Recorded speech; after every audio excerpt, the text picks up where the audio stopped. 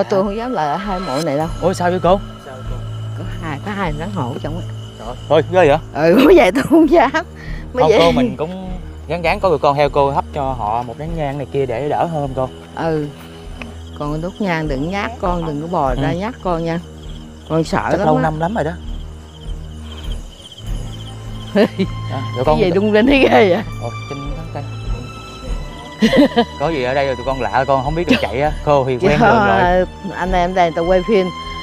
Ờ, đừng có cho đừng quậy phá gì cho mấy ổng sợ. Mà ở đây là mấy bác mấy chú gì đó con tôi cũng không biết nữa. Cái này là lâu năm rồi.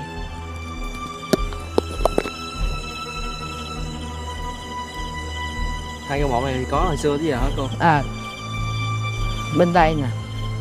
Bên đây nè. Bữa tụi nó quay bên đây nè. Cái sự tích mà à, cái cặp gắn hổ mang nó như thế nào hả cô? Không biết đó tôi không biết.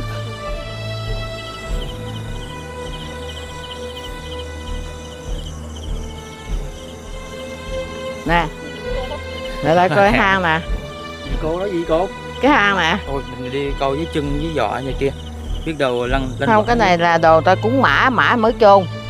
Con con quay cận cảnh vô đó chắc được ha cô ông bà ở đây nó lên thiên cho tôi gà cắm một cây hai cây nhang. Đừng muốn ra hù tôi nha.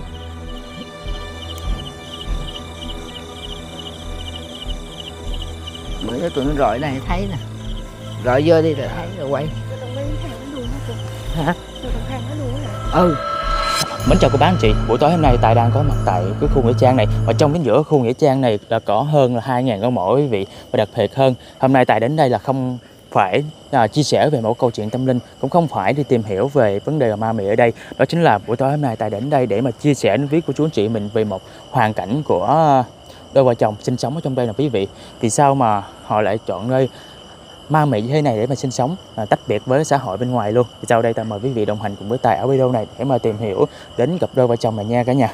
Ở xung quanh đây thì mã đất rất là nhiều luôn nên là tài đi à, cũng hơi tế nhiệm một chút xíu.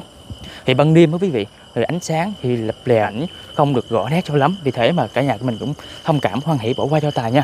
Và mẹ bên đây à, là người cô đang đi thắp nhang cho từng ngôi mộ quý vị. Về buổi tối hôm nay mình về ban đêm á thì cũng làm phiền một tí xíu. Thì cô đây cũng có à, hấp nhang để mà cho mấy anh em vay này kia để mà xin đó quý vị.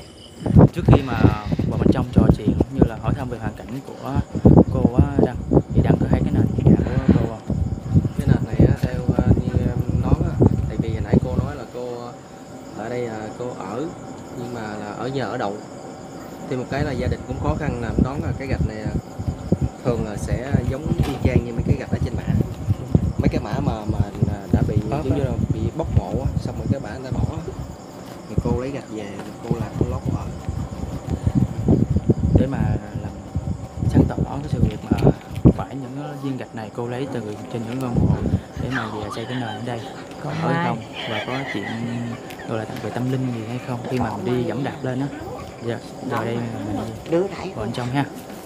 Để mà tìm hiểu cô quạt vào đâu? Tụi con vô nhà nha cô ờ vô cái cưng tụi con mà bước bước lên những cái tấm gạch này đó tụi con không dám luôn á. Thì cái gì không dám? Dạ. ừ vợ. Gớm. Gớm là nó sợ rồi à, trước khi mà về đây ở thì cô chú ở đâu trước ở ngoài sông. Ở đậu đất ngoài sông. trả cho người ta chứ rồi giờ trả cho người ta lũi đại vô đất nhà nước ở luôn. Giờ học trò khổ quá không có không có đất ở lại. Dạ. rồi ở xã nó cũng nói vậy à, phải mà vì hai với bảy mà có đất thì con cất nhà tình thương cho. Mà đâu có đất đâu nó không có đất. Ừ, không có đất thôi vì hai ở đại đó đi. có gì hai với bảy con ở đây được thôi chứ không không cho Không có cho ai ở. Người ta cũng tạo điều kiện cho cô với chú nhiều Thì đó. mà đúng rồi người ta không cho ai ở đâu. cho nó nói mà nếu mà có đất á là cất nhà tình thương lâu rồi. Mà nó cũng phát gạo rồi cho ăn. Rồi năm nay thì sao? Bếp quá không có hộp gạo nào hết. Có một lần mà lãnh có một thì lần. lãnh đựng thùng mì với à, 10 cái gạo thôi đó. Ừ, rồi lãnh với huyện chứ không phải lãnh đây nữa. xa lắm người ta chở đi dùng cô thì à, năm nay cô bao nhiêu tuổi ha? 67 67 tuổi. Cô tên gì ha Trần Ngư Thủy. Cô Thủy. Còn này à, chú. À, 65 65 tuổi. Là chú tên gì? Ở ngoài kia Trường Giang. Chú bảy. Chú bảy ha. Con thấy ờ, mình hàng sáu mấy mà sao thấy mình trẻ quá. Trời ơi già rồi con ơi. Làm thấy mẹ luôn. đi làm chứ ai kêu bảy làm gì bảy đi làm. Đó đi làm chiều con cháu. Nè tóc bạc hết nè thấy không? À, cháu con cháu của cô nó trở về nó thấy khổ quá không có là ra tiền nó nói thôi đi thì với con đi phụ làm à, kiếm tiền mua gạo mua thóc nước mắm nước muối đồ ăn. đồ ăn đồ uống đồ chứ ở nhà làm sao nè hỏi coi người ta cho đồ ăn tôi ăn nó quay đứng quay luôn nè. Dạ. Ờ, chú, chú bảy là chú bảy làm công việc gì ha sơn phết với lại phụ à, cũng như phụ lặt vặt đó nó dục nè có có nó hàng sắt rồi đó. Nè bữa nay đi rồi quay à, về cho bà coi đúng không bà nói láo nói tụi nó láo sao ờ, cô ghen hay sao? Nói chú trời láo đi, đi có. chơi với mấy đứa nhỏ á. Là hàng ngày mình đi làm công việc sắt rồi mình phụ người ta ha. Ờ đi làm à, ba nó cho làm nhẹ mà dạ. Nè cái này mai là bắt đầu kha làm nè để cho công ty này nè. Dạ. Nó giờ mấy cái kêu công ty gì á. là mấy chú này chắc biết ở à, ngay chỗ cổng à, mà hoàng gia biết không? Dạ. Khu công nghiệp á. Đó cái này nè. làm niệm làm gối cái này là rồi chưa nè mai bắt đầu cho nó giờ chiều nay là nó giờ á chưa xong á. Rồi ngày mai vô là tháo mấy cái này ra nè. Dạ. Đó. Rồi một ngày ờ, chú bảy làm được bao nhiêu tiền? Trời ơi, thì nó cho như cho mà thằng cháu à. Nó dẫn đi ờ, nó thằng thầu nó kêu làm á. Đó hàng. Đó hạ bên đây trống hết nè dạ. Rồi bên bên nãy bảy chụp á ha đó bên kia ha. Là mai nó dọn qua đây hết nè đặng hàng bên đó đó. Dạ giống như làm cái kho cho người ta ha. Ờ tháo kho ra tháo ở vàng ở cái này đang hạ xuống bữa nay là hạ hết rồi đó. Dạ. Hạ cái cầu thang xuống nè đó. Đó. Bữa nay bảy đi mới về chiều á vậy là giờ chú bảy hàng ngày đi làm như vậy còn cô thì ở nhà ha? Ở nhà Dạ. chợ Trồng trồng cải rồi tưới rồi còn nó lớn là hay nhổ bán. Dạ. Ăn bán đổ mất công tiền. Rồi ờ, cuộc sống của mình ờ, trước giờ đều như vậy hết hả? Cũng vậy cũng vậy thôi chứ giờ hồi xưa chưa có chòi á thì à, đi mướn tùm lum hết đi ăn nhờ ở đậu tùm lum hết dạ. Mỗi lần thì xỏ chút mà giờ nó đâu nhận nó nữa. có chút bây giờ không có chút không có làm chút mình chút á con. Làm mạnh á. Cái ờ, cái cái chiếu chút á cái mang. Làm mình chút á mang xỏ chút nè. Trăm cộng được ba mấy ngàn. Dạ. Mà qua nhiều khâu á. Rồi ờ, chú là quê chú ở đâu? Sóc trăng. Quê gốc là ở sóc trăng. Sóc gia đình mình hiện tại bây giờ vẫn còn ở dưới ha? Còn có bà chị già. Dạ à, bà ở với cha con bà nuôi bà bà cũng bảy bảy chục bảy mấy. Mình ra khổ lớn mạnh nay mới đi làm tự sống tự tạo con. Dạ. Lâu lâu có tiền về thăm con cháu chị. Rồi ờ, tết rồi mình có về quê không chú bảy không tết ở đây chứ nào có tiền mới về không có thôi. Giờ với ba bốn trăm ngàn một ít à giờ giờ tới trăng bà nội trời ơi xe giờ ờ, từ đây về dưới thì bạn đi á ba bốn trăm rồi. bốn trăm bạn về ba bốn trăm nữa. Là mới tính bằng đi thôi chưa tính Ờ. về ha. Ừ, mà chưa tính ăn uống á. Ăn uống là đem cơm theo ăn. Dạ. Không mua ẩn mì không lên lên ờ, chai nước suối rồi xong cô thì quê cô ở đâu? Đây. Quê gốc đây. luôn Long sinh đẻ ở đây. Dạ. Quê vợ ở đây. Mấy vậy nhà nước mới thấy nhà nước cho ở chứ ở đâu lại cho đi ở dạ. Ai cho ở Thì con thấy ờ, cô chú cũng có con hả ờ, rồi cái ờ, nhà nước thấy vậy nhà nước mới là con cái gì? cho mà cho là hai đứa ờ, làm hộ khẩu giấy chứng minh ở đây. Dạ. Cô Biết. chú là bên cộng đồng CMPT mỗi về hả? Sống với nhau là 30 năm rồi. Mỗi về hả? Ủa vậy? không biết tại vì nhìn không biết luôn. Nhìn không ra chứ không biết. à, chú bảy giống à, giống một cái người đàn ông lắm. Ở nhìn không ra luôn. Con nhìn không ra thiệt. Không con con xin lỗi. Tại vì con sao con- con. con có gì đâu. Tại vì ờ, con thấy chú bảy ờ, giống một người đàn ông bình thường đâu có khác gì đâu. Cái này biết rồi hay không? Tại vì trong cái giới là người ta thường hay nói là à, ít có cái gì để mà gắn bó với nhau nhưng mà cô chú như là sống với nhau là tận 30 năm rồi đó. Sống với nhau 30 năm rồi hả? Từ cái khổ lăn lóc mà đi à, sống à, buôn bán mà ngủ ngoài đường luôn ngủ tại cái tủ thuốc luôn. Dạ. Hồi xưa là mình đến với nhau như thế nào hả cô chú? Thì à, đi à, đứa đi làm đứa đi làm mướn đứa đi lụm da chai rồi bán vé số lum lum á bảy làm lum á nguyễn cái gì có ra tiền rồi cứ làm. Rồi sau gặp quen nhau quen nhau bắt đầu à, mới là bà chị dâu á cho được trăm ngàn thì phụ quả cái à, cái tết á cái bà lì xì cái mới mua tủ thuốc. Nó thôi mày mua tủ thuốc bán thuốc đi. Dạ. Rồi đó thì bả ngồi bán bảy thì lụm da chai mà bảy đi lụm á nhiều người người ta thấy người ta quắt lại người ta kêu đi chở về trở nhà luôn mà đi bộ nha con. Dạ. Lúc đó bảy còn sức rồi sau mua được chiếc xe mới là đi rồi đi xuống người ta chỉ xuống cầu muối mùa một giờ khuya đi lụm cá lụm rau cải về ở lúc đó biết bún nhà đó. Đó. Đâu à, ở chung với ai với nhau mình ví dụ có anh thì có chị dâu Không? cũng khó lòng. Dạ. Rồi mấy đứa bạn thấy vậy thôi mà từ đây mướn nhà đi phải không hai chồng đi mướn nhà đi tôi chỉ cho. Đó nó mướn nhà rồi tới mùng một rồi khuya là bảy đi ha. Từ ở à, lúc nó mướn nhà ở à, bến xe miền đông á. Ở sao bến xe miền đông không biết không? Đó hồi xưa á nha. Dạ. Là 11 giờ khuya là chạy đi từ đó mà chạy dài đó xuống cầu muối là không biết bao nhiêu cây số rồi đó rồi xong rồi bắt đầu hả đàm ha lúc đó hại tiện đã cho có hai ngàn bạc à. ngàn thì tiền thuốc ngàn gửi xe. Một ngàn thì đó, nếu mà ăn ổi mì trang á thì phải nhịn hút thuốc. Mà vô chợ cá đấy con biết cầu muối mà hồi xưa mà lạnh lắm nước đá không à. Ơi, bảy lạnh bởi vì bây giờ cái bằng giờ 7 giờ nè, bảy về ha, bảy mấy tháng ra cho nó thông thả chút á, chứ bảy mang suốt bây giờ nó đang lạnh nhất nè. Đó, hai bằng giỏ lạnh ở dưới này lắm nè. con Bây thấy là cái chân của bảy là nó, nó cái màu nó khác với trên là là do Ừ. mình, mình bị bệnh từ xưa tới giờ hả Ừ, lạnh hả, giờ nó đang lạnh á. Mà chắc chưa nắng nhiều khi đang ấy nó lạnh lạnh lạnh lạnh hả nó lạnh khúc đàn nữa nha. cái này gọi là bệnh gì ha bảy Bảy con không biết luôn mà chị bảy con không biết luôn. tại hồi xưa nó Chắc biểu là nó đi chân không á vô trong cầu muối á, nó lụm cá về nó bán á vô đó, Dạ. đá nhiều quá đó. đá nhiều quá đó rồi cái lạnh lạnh đó, giờ đang lạnh. ở trong đó toàn nước đá không cầu muối nước đá Mà không lạnh à. khúc này nè nha, chứ không có lạnh lên tới cái mắt cá luôn á. Sao Bởi vì cứ mang giới ta? nè. lạnh ở dưới bàn không Nè, à đó, nên cái giới nè, để nè, lạnh tối á, chút Giờ mà cũng thấy còn là lạnh. chùm lợi á. Là bảy bị cái chân không mà có bị cái tay không Bị cái bàn không à. bàn mà cái lưng nó cũng bị luôn Cái lưng lưng nó là bị xương sống gai Bởi vì ngủ võng nè, Dạ. thấy không?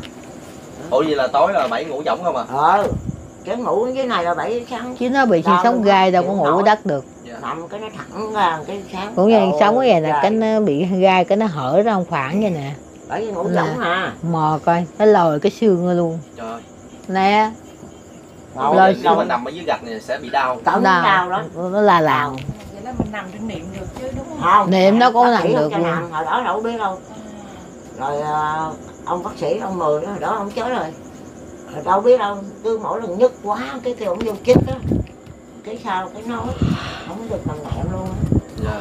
một là nằm võng hai nằm cái với bố đó. Đó cái bố đó. Đó cái bố để ông kẹp đó. Nhưng mà cái ờ, bảy nằm cái nào thấy thoải mái hơn phải nằm ở ghế bố thoải mái nhưng mà nằm ở ghế bố nó nhiều khi chở qua lại không được. Cái võng mình là còn nằm nhẹ nhẹ chút dạ. vậy là bây giờ là ngủ võng không ha? Ngủ võng là mình bị cái cái gai đó bao lâu rồi bảy Trời ơi, lâu lắm rồi. Giờ là coi mãn tính luôn rồi con ơi mãn tính rồi. Giống như là nó bây giờ không là có chị được. nó theo mình rồi xuống luôn ha? Theo cái chết luôn mà. Bởi vậy còn bằng giò cũng vậy thôi.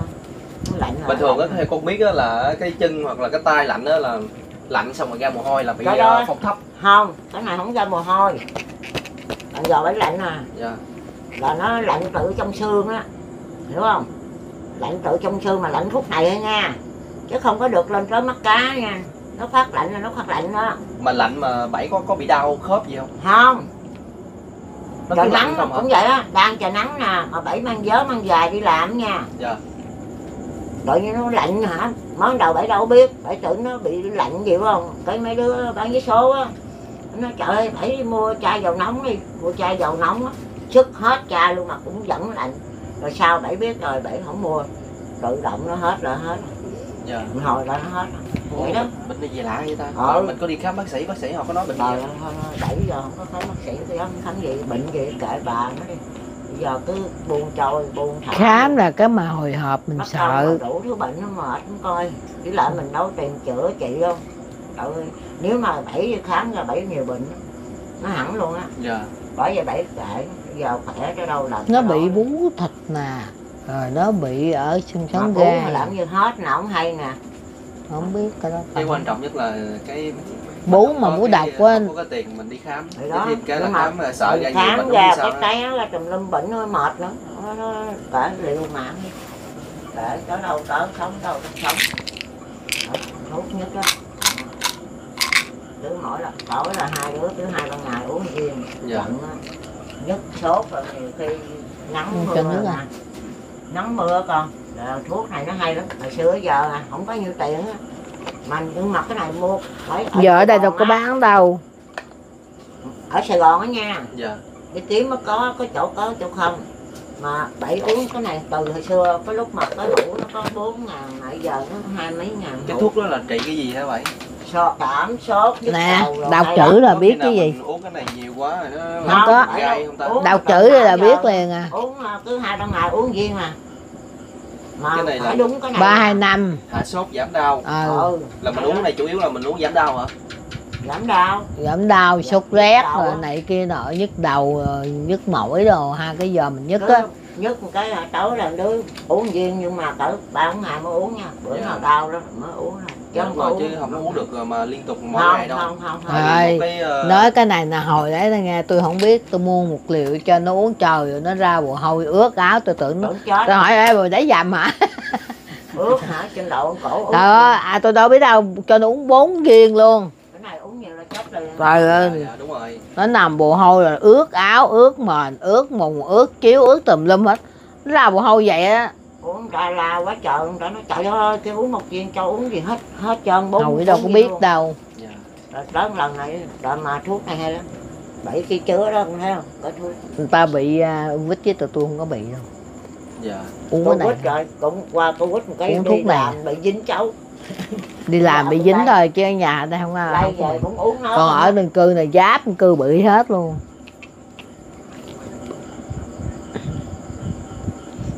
Ờ, khi mà hồi xưa mình đến với nhau á, thì gia đình mình có phản đối gì không ờ, Không cô chú? Không. Hai Chấp bên nhận. biết hết mà.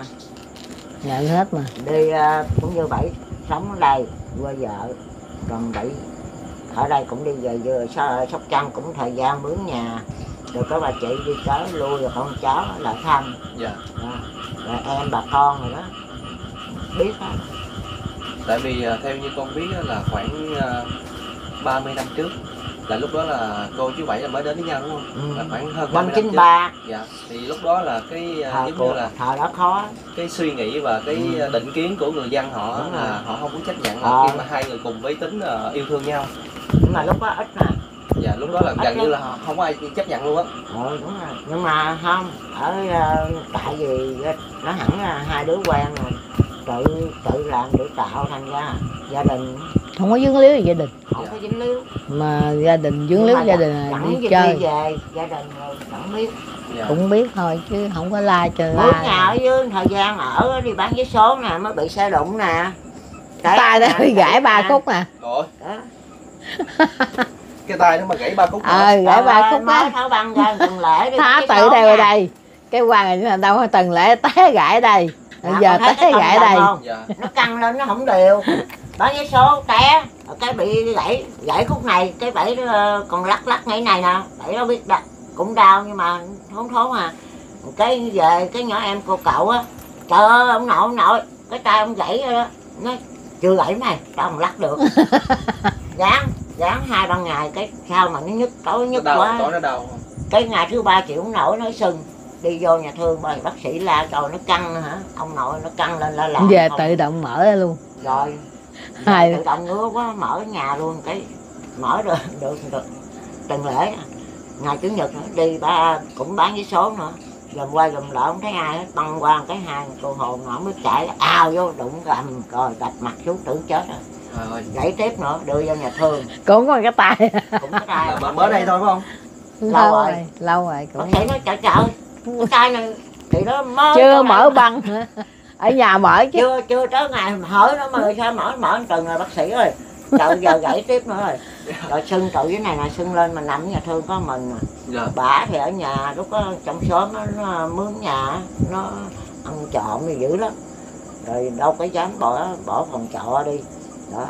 Rồi có bà chị thì lâu lâu ông cái chiều bà rảnh á, bà vô bà thăm một chút rồi bà về với cháu nó ngoại bà dạ. Rồi nằm tối nằm mình á, gám lết lết. Trời ơi đau chịu không nổi luôn.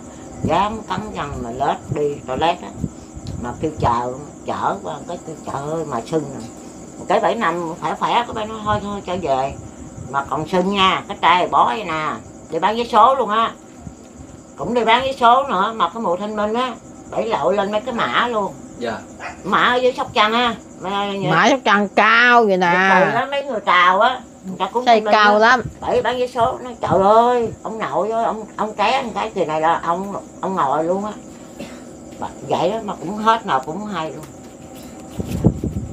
Rồi ờ, nếu mà bây giờ bây giờ thì ờ, bảy đi làm cái công việc mà sắt như vậy sao làm nổi? Không mấy mấy đứa cháu á nó thấy vậy nó cũng nó đưa đâu có nổi cái sắt đâu. cũng như là mấy sắt nặng hạ xuống á. Dạ. nó, nó xả xuống á. Là bảy dịnh dịnh với thằng, thằng út còn không hà. Thằng cháu thằng cháu của cô con á thì nó xả xuống rồi rồi hai thằng nữa. Đó hai nó khiêng đó. Dạ. Nó không có cho làm nặng. Nó nói ông mà khiêng hả? Sắt khiêng à lợi ông chứ ông mà khiêng gì? Ông tụi nó thương bảy lắm. Đi làm tụi nó cho làm việc nhẹ cũng như là ba cái đồ lặt vặt kêu chạy ở lấy à, máy máy hàng máy bánh máy cắt gì đó đem lại cho nó rồi truyền lên. Mình đứng ở dưới nè. Dạ. Rồi khi- khiêng dàn giáo khiêng dàn giáo trai nè bảy nó đụng mẹ trai đã bị nha mày. Vậy nha. Nó nói không thôi bảy bảy để để con cho. Mà cũng cái nào nhẹ mình cũng gắng khiêng dạ. Chịu chịu chịu Nè, về mấy nay bây giờ sức khỏe của ờ, chú bảy cũng mấy nay nó nhức nhức là yếu rồi chứ không còn được như xưa nữa. Trời bây giờ là hai vợ chồng nó yếu dữ lắm rồi. với nhau ờ. Nhưng mà bảy cũng giờ nó sát ta thùng nước không nổi nữa, chưa biết. Dạ. Thùng nước ngủ bình nước lớn tại không bảy sách cái gồng cái độ gồng đó, cái lưng bị bảy nó gãi với cái lưng nó bị gai. Gồng sức đó, cái gồng là cũng như cái xương sống mình nãy luôn. Là tối rồi sáng ngủ trời hết dạ. Ủa nãy giờ quên nữa nãy con thấy ờ, cái này mình ở đây không có điện luôn hả? Không đây đâu có điện. Cái bóng điện này là bóng điện năng lượng mặt trời phải không? Người ta cho mấy người còi đất người ta cho. Dạ còn nước thì, thì sao ờ, nước Nước. thì ở ngoài giếng với nước mưa thì hứng xài. Đó là chuyện nó mưa hứng vậy xài. Hứng xài. Dạ là quấy nó ờ, uống. nước. nấu cơm uống. Còn nước giếng thì ta rửa rau rồi vô rửa lợi nước mưa. Múc cái hố cho xài. Còn mình ờ, tắm rửa thì tắm nước giếng. Giếng. Tắm nước giếng. Còn ăn uống thì ờ, dạ, mưa. Nước mưa. nước mưa. Chữa đó chai rồi nước suối rồi nước mưa không mấy này nước mưa không? Mấy cái chai nước mưa không? Chữa tận dụng hết. Dạ trời ơi con tưởng đâu ở đây có nước sạch ở nhà mình không có luôn. Không. không là người ta không có cho vô nước hay là Không có phải. ở đây đất nhà nước mà. đất nhà nước làm thì có kênh Không đâu có. có nước kênh vô được. À, à, cái này là sân banh mà. Dạ dạ. Đây- còn người đây ta trồng đồ người ta phải có máy bơm người ta bơm người ta tưới. Dạ. Còn mình đâu có ờ, trồng nhiều ví dụ như có cái giờ có cái cái máy bơm bơm từ cái máy giếng ờ, cái nhưng mà không có đây. điện. Không có điện. Không có không máy nên mình không xài có xăng thôi người ta kêu mua cái máy xăng nhỏ nó thôi trời ơi chồng không có bán được nhiều hết trơn á mà mua máy xăng thì tiền nặng lắm thôi thôi. Sợ bán không đủ tiền xăng đó. Đó đổ xăng nữa thôi mệt lắm. Chồng đâu có nhiều đâu mấy đứa này nó thấy nè. Dạ. Rồi thì bữa nay anh em tụi con đến đây thăm ờ, cô chú thì cũng biết được hoàn cảnh của cô chú ờ, ờ, khó khăn. Bây giờ là vẫn còn xài không có nước sạch để xài không có điện để dùng. Mà sống ở một cái nơi này giống như là chỉ có cô chú sống ở đây thôi chứ không ai dám ở đây. Đúng Sợ- rồi. tụi con bước vô mà tôi đang rung chân luôn á. Đi vô thấy có thui không? Dạ anh em tụi con đi ờ, khám phá những câu chuyện tâm linh cũng đi vô rất là nhiều nghĩa trang rồi. Mà thấy ờ, ở đây ờ, cô chú sống thật sự là cuộc sống còn rất là khó khăn luôn. Thì à, tụi con xin trích ra một món tiền nho nhỏ là số tiền là 500 ngàn gửi cho cô chú nha. Nếu mà mình à, được ờ, quý mạnh thường quân hỗ trợ thêm cho mình một phần nào đó thì tụi con ờ, xuống tụi con trao thêm cho cô chú nếu mà may mắn được nữa chút xíu nữa thì à, mạnh thường quân giúp đỡ cho mình nước hay là một vấn đề gì đó thì tụi con sẽ thông báo cho cô chú sau ha cảm ơn. Dạ. vậy hai đứa tôi cũng cảm ơn cậu Dạ. với mấy cô ở đây cũng chúc mấy cậu mấy cô cũng cái gì? Gắng mà gắng làm được uh, youtube nhiều nhiều cách À. đây nhiều. Đây con xin phép gửi trước À, uh, 500 cảm ơn. cho cô chú nha. Thì ờ, cũng mong sẽ kết nối được hoàn cảnh của mình với quý mạnh thường quân giúp đỡ một phần nào đó cô chú. Bây giờ cái nhà của mình có bị dột không ta? Dột quá che tùm lum không à nói. dạ. Nè dột ở đây là phải hứng à. Nhà mưa lớn là lấy cái xô lấy cái thùng nó hứng là- vô dạ. Chỗ ngủ còn ở đây là che rồi. Nó mấy dột bữa nay chảy là mưa là dột với lắm dột. Ờ nó dột có nó nó chảy xuống. che rồi nè. Nó dột mà tại vì che vậy nó phải chảy xuống ngoài Còn kia. cái này là chưa che nè ở đây không có che thành ra lấy cái xô hứng. Dạ. Mưa là hứng ở trong này. Ngay chỗ làm cái dấu đen nè. Dạ. Ờ, cái dấu đen là ngay chỗ dột nè. Rồi để Dạ. mưa cái hứng. Rồi thì cũng khuya rồi thì con cũng xin phép ra về để cho À, cô chú nghỉ ngơi ha. À, cảm ơn cô cảm ơn nhiều. dạ con chào cô thủy chào chú bảy nha. Rồi